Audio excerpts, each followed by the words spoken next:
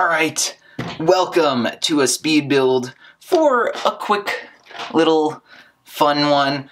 Uh, I'm actually kind of concerned at how repetitive this is going to feel with the little uh, outer parts, but I think uh, in general flowers are pretty repetitive builds, so that's acceptable.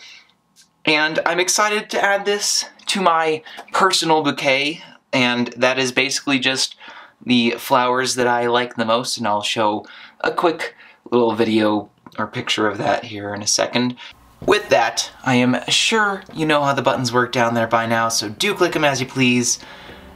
Let's get into the speed build for the sunflowers. Here we go.